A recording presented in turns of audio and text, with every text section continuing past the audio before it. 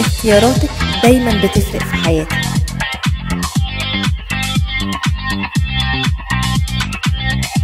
ولما يكون اختيارك ليه علاقة بجمالك يبقى لازم تختاري صح.